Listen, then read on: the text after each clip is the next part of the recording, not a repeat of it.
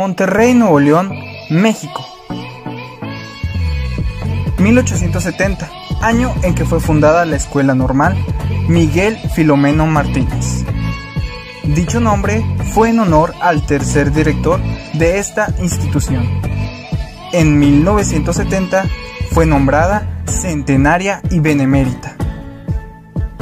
150 años formando docentes.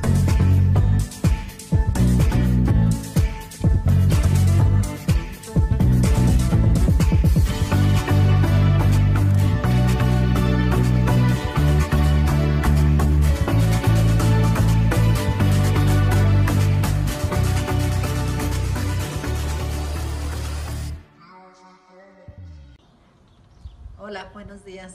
Soy la maestra Patricia Campos Sandoval.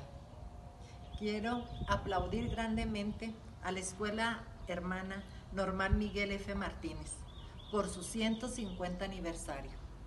Maestro José Ángel Alvarado Hernández, mi reconocimiento como director de la institución.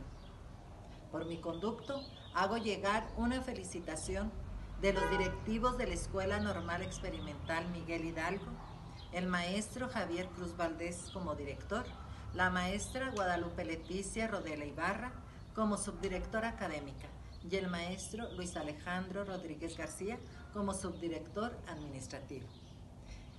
Nuevamente, felicito maestro a su institución por estos 150 años que ahorita está festejando. Mi reconocimiento. Se despide la maestra Patricia Campos Sandoval, catedrática de la Escuela Normal Experimental Miguel Hidalgo.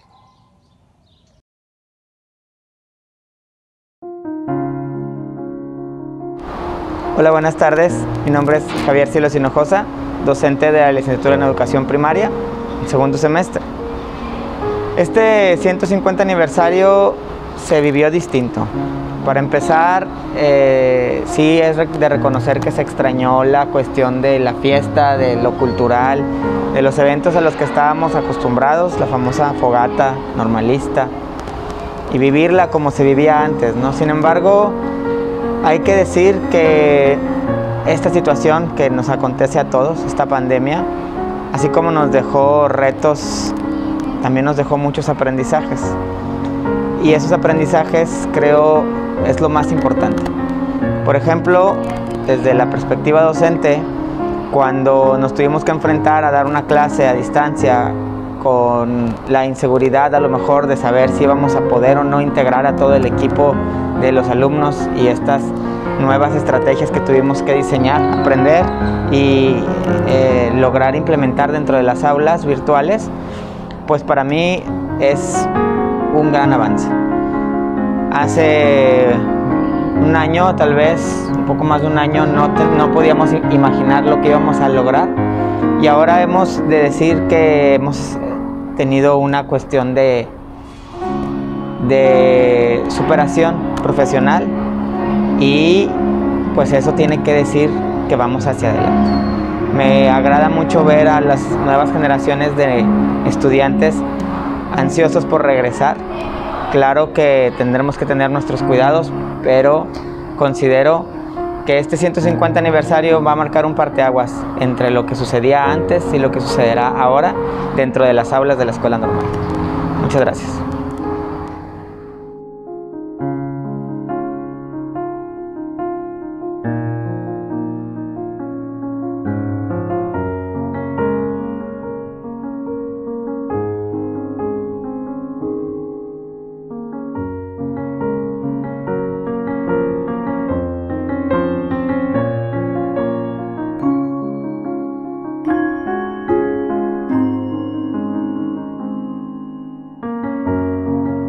Uno de los retos principales que, hemos tenido cada uno de los maestros frente a las clases, pues es la, en algunas ocasiones la falta de preparación este, o la falta de conocimiento que tienen los estudiantes, porque hay unos estudiantes de familias que no, no están relacionadas con el ámbito de la educación, pues hay que empezar desde cero. Eh, en la actualidad estamos teniendo un reto muy importante como es el trabajo híbrido, eh, primero el trabajo a distancia, después el trabajo híbrido, y pues es, un reto importantísimo para los maestros porque nos estamos adaptando a nuevas, a nuevas tecnologías, nuevos paradigmas que van cambiando y pues que lamentablemente tuvo que pasar una, una pandemia como, como la actual para poder llegar a utilizar la tecnología como se debiese, pero eh, creo que es uno, de los retos superados eh, más importantes que la escuela normal ha llegado a, cumplir debido a que fuimos precursores en el ámbito de, de la educación híbrida y pues ahorita estamos trabajando de manera unilateral con, los con los muchachos eh, presencial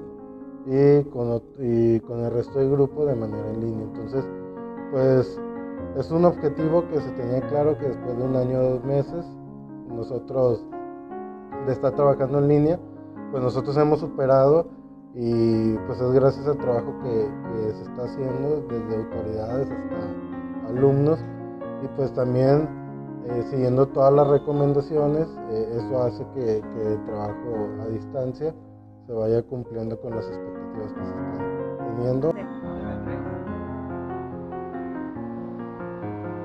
Hola, soy la maestra Marieli Hernández y principalmente uno de los retos que estuvimos enfrentando durante este ciclo escolar fue estar trabajando a distancia. Sin embargo, a pesar de tener ciertas dificultades, también pudimos llevarlas a cabo y sobre todo aprender de esta nueva estrategia de trabajar a distancia. Las alumnas estuvieron incorporándose a través de diferentes plataformas para poder estar eh, dando seguimiento al semestre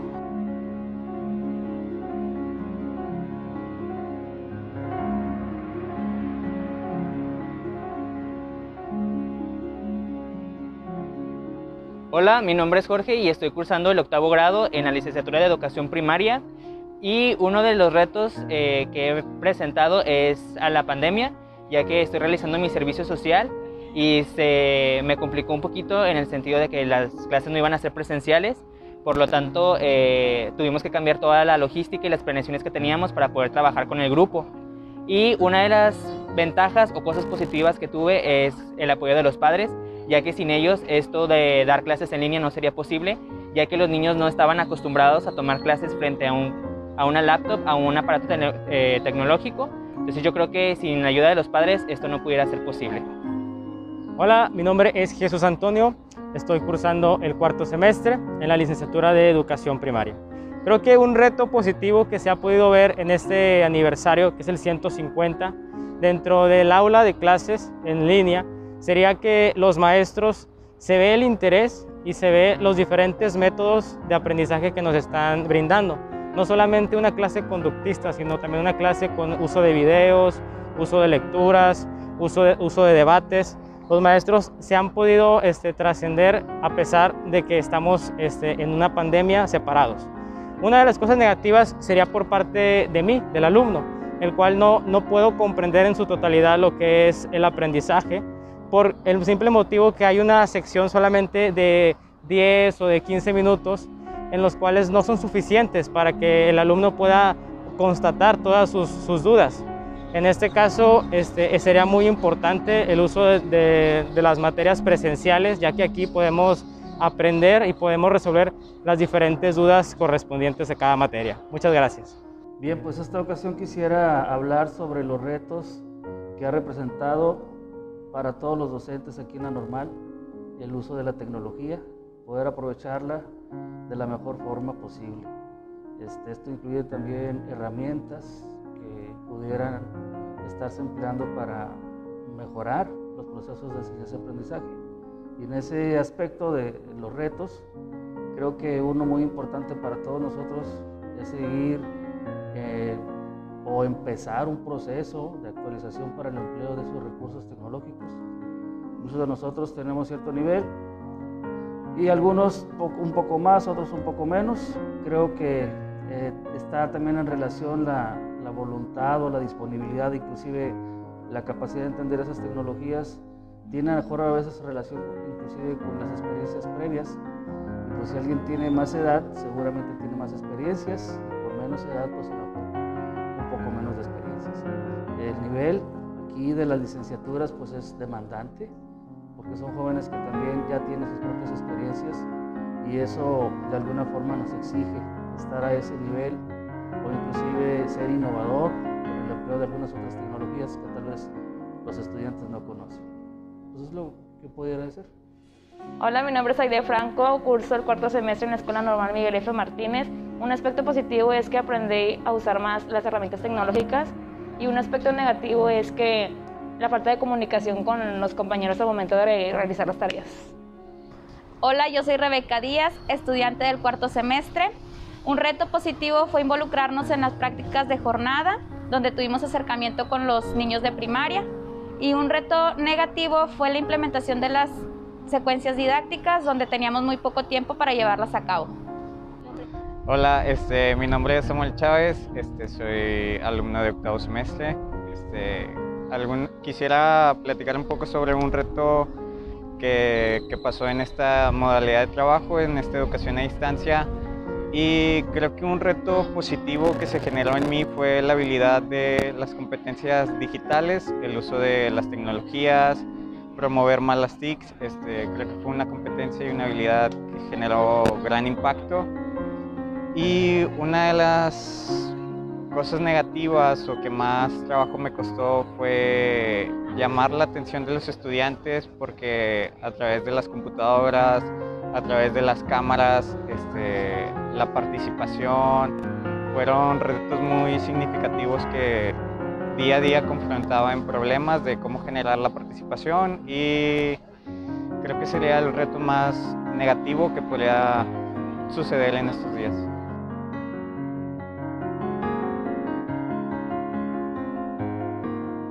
En esta pandemia atravesamos por una situación muy difícil para todos, lamentablemente.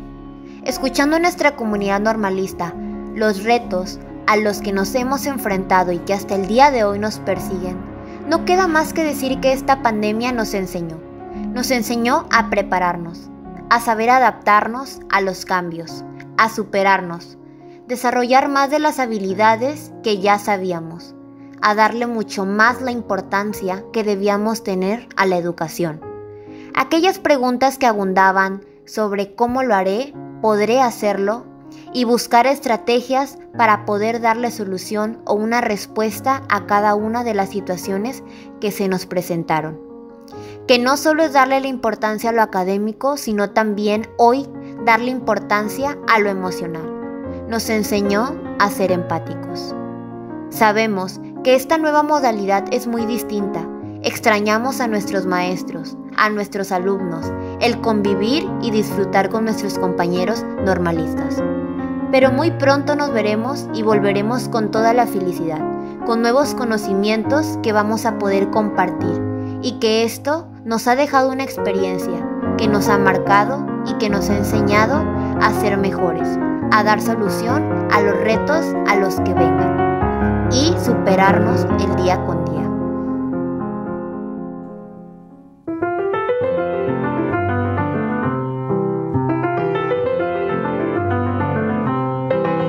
Legendaria y benemérita normal, formadora del docente magistral, un ejemplo de cómo trabajar es lo que yo veo en mi escuela normal.